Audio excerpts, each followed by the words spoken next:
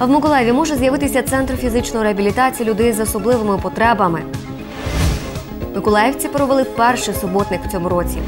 Міст чим не майданчик для тренувань. Про це і не тільки в МСН вже за мить.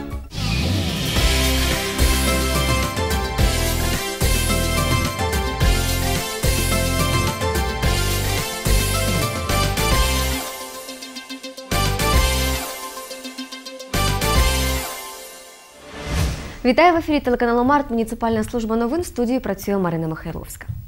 В Миколаєві відбувся перший в цьому році суботник. Вихованці спортивних шкіл міста, їхні тренери та просто небайдужі миколаївці цими вихідними прибирали територію навколо стадіону в парку Перемога. І, хоча погода спочатку не сприяла акції, впоралися швидко та на цьому зупинятися не збираються. Перший цього року суботник в Миколаєві пройшов в парку Перемога. Цими вихідними спортсмени, тренери спортивних шкіл та небайдужі миколаївці прибирали територію біля стадіону, розташованого поряд з фехтувальною школою. Шестикласник Максим займається вітрильним спортом. Хлопчик вже знає, навіщо потрібні суботники. Чтобы было чисто, чтобы тем, кто здесь ходил, было приятно, то есть, чтобы не было мусора и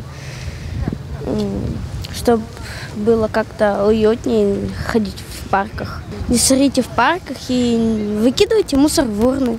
І хоча спочатку погода зовсім не сприяла активістам, було хмарно та вітряно, та коли всі разом взялися до роботи, з'явилося сонце. Весна ж приходит, надо, чтобы травка пробивалась, чтобы дети воздухом подышали после зимы. Вот. И все-таки это ж наш город, мы должны чуть-чуть привести его в порядок после зимы. Субботники любим, не пропускаем. Для нашего города все самое лучшее, чтобы был в чистоте, в порядке всегда. И показывать пример молодому поколению, то, что надо трудиться, а не сидеть за компьютерами. Заступник голови Миколаївської обласної державної адміністрації Валентин Гайдаржи розповів, що ідея проведення суботника виникла після того, як керівники області відвідали фехтувальну школу та побачили незадовільний стан прилеглої території. К сожалению, пока до конца не решен вопрос передачи этого земельного участка в собственность города. В свое время это была территория города. Потом по решению сессии городского совета было передано в постійне користування э, университета имени Сухомлинского. К сожалению, средств у них на содержание нет. Поэтому нам приходится периодически проводить субботники. Наталя Паламарчук, Олег Хусаїнов, МСН. У 2016 році дохідна частина міського бюджету Миколаєва склала більше трьох мільярдів гривень. Про це повідомила заступник міського голови Валентина Бондаренко під час публічного представлення інформації про виконання міського бюджету за минулий рік. Основними джерелами надходження коштів стали місцеві податки і збори, зокрема орендна плата за землю, єдиний та акцизні податки. Минулого року в Миколаєві дохідна частина бюджету склала 3,2 мільярди гривень. Це на 715 мільйонів гривень більше, ніж у 2015 році. Про це повідомила заступник міського голови Валентина Бондаренко під час публічного представлення інформації про виконання міського бюджету за 2016 рік.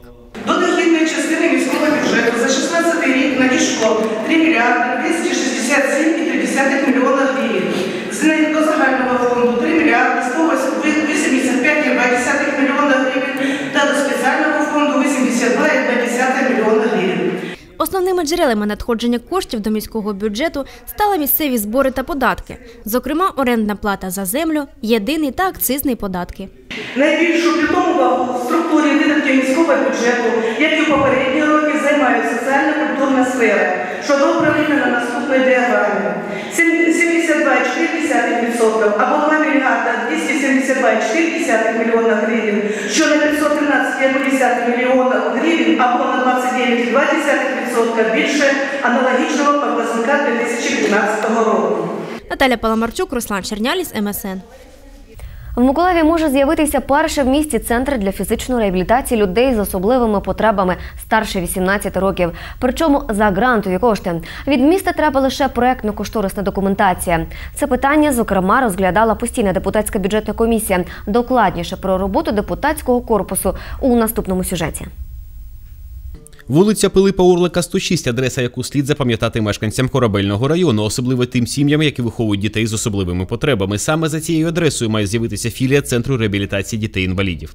Адже існуючий сьогодні центр може приймати лише 80 дітей. До того ж, знаходиться він у Заводському районі. А в місті сьогодні мешкає понад 200 неповнолітніх, яким потрібна спеціалізована реабілітація. Тож департамент праці та соціального захисту населення хоче внести зміни до цільової програми і створити філію квіточки семиквіточки. Мы э, трижды туда выезжали, вот сегодня, Сегодня Евгений тоже был. Валерьевич там был, в общем-то, э, посмотрели, определились с проектантами, с УКСом, э, горосполкома, вот, о том, чтобы на этой территории э, построить э, филиар для корабельного района, тем са- на 30 детей, Заперечень у депутатів не було, хіба що голова комісії зауважив, що спочатку непогано було б передати приміщення під філію на баланс соцзахисту, бо сьогодні будівля, хоч і в комунальній власності, але проходить по іншому відомству.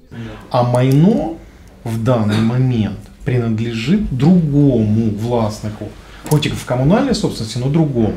Логично было бы передать, включить и финансировать.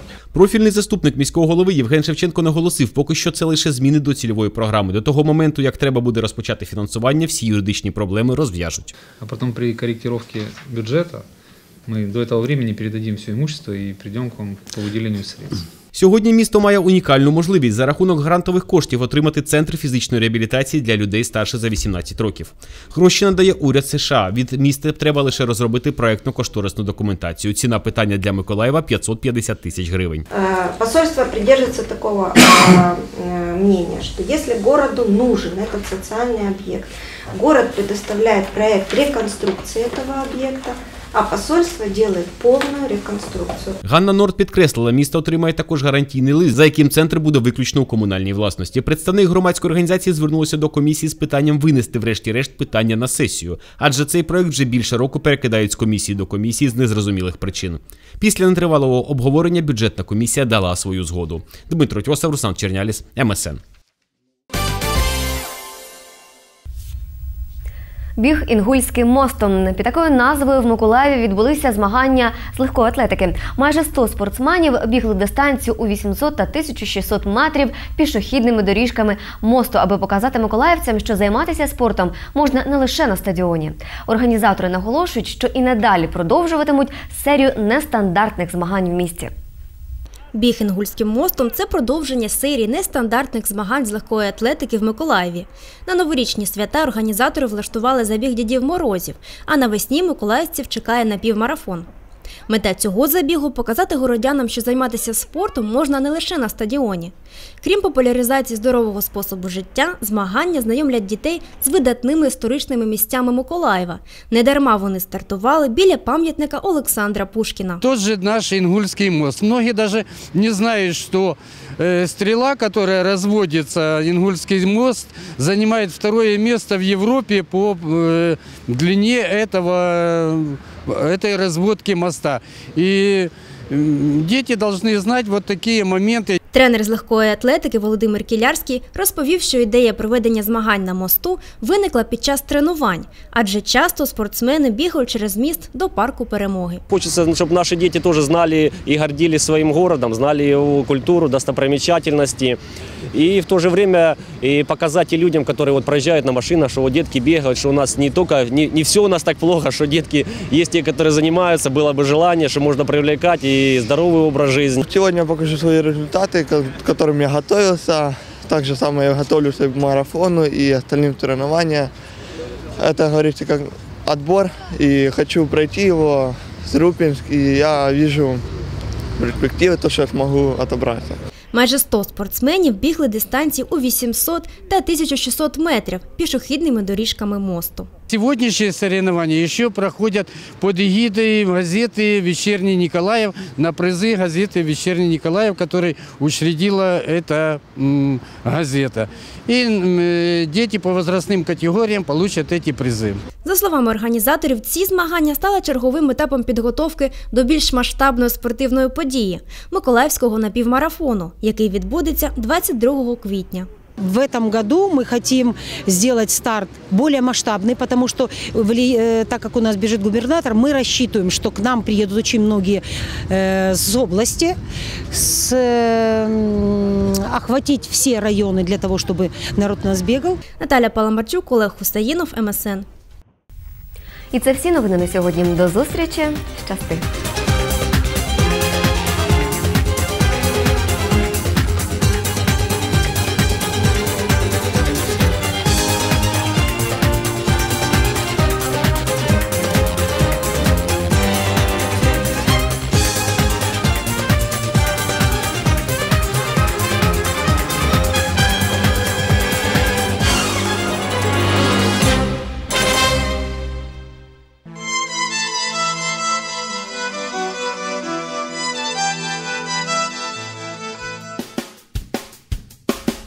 Найкращий спосіб зіпсувати відносини це почати їх з'ясовувати. Британський політик Уінстон Черчилль.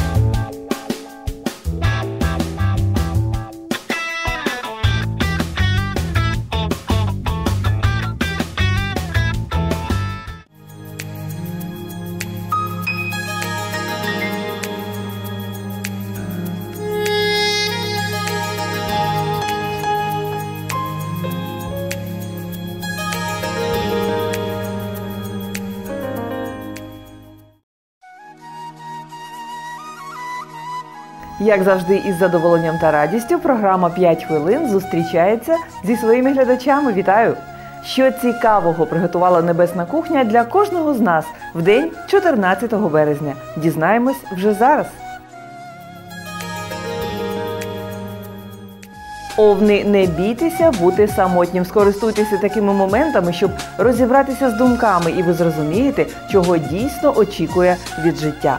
Тельці, не сперечайтеся зі своїм босом, тому що переконати його логічні аргументи може бути неможливим. Буде краще, якщо ви не будете займатися діяльністю, яка буде вам шкодити, визивати риски.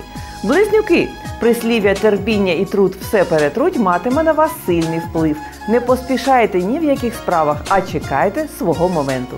Раки, ваша кар'єра або особисте життя можуть опинитися у періоді застою, але не сприймайте це за поганий знак. Навпаки, треба використовувати цим спокійним періодом. Леви, не дозволяйте вашому середовищу занадто багато вас формувати, навіть якщо ваша думка міцна, відстоюйте її і не здавайтеся тільки тому, що на деякий час у вас виникли інші думки. Діви, не сумуйте, коли справи йдуть не так. Не можете ж ви кожного разу досягати успіху. Терези, вам треба бути уважним і все перевіряти. Помилка через недбалість може мати великі негативні наслідки, тому краще за все уникнути в першу чергу таких ситуацій. Скорпіони, чи були у вас довгострокові проблеми на роботі? Зараз вони нарешті повинні вирішитися. Зірки сприяють вам. Стрільці, постарайтеся бути позитивним і піднімайте настрій свого друга, коли він почуватиметься погано. Він буде дійсно щасливим. Козироги, зірки знов знаходяться в правильному положенні. Знайдіть цьому вірне використання. Щастя само собою не впаде до ваших ніг, але якщо намагатися, ви отримаєте заслужену нагороду. Водолії, залиште ініціативу іншим і будьте терплячим до того, що відбувається. Просто не грайте в недоступність. Риби, ви випромінюєте задоволення і гармонію, а ваші промені торкаються інших людей навколо вас і впливають на них. Не дивно, чому люди хочуть проводити час тільки з вами.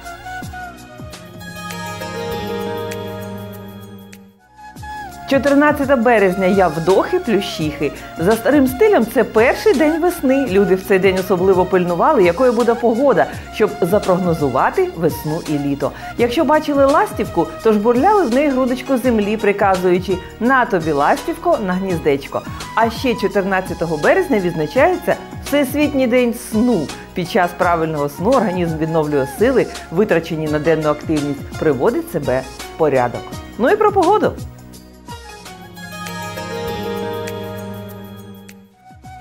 14 березня очікується хмарний день без опадів. Вітер північний 5-10 метрів за секунду. Температура вночі плюс 3-5, вдень плюс 5-7. Тиск 764 мм ртутного стовпчику. Вологість повітря 71%, ймовірність опадів 6%. Весна хороша пора року можна збожеволіти з поважної причини. До завтра!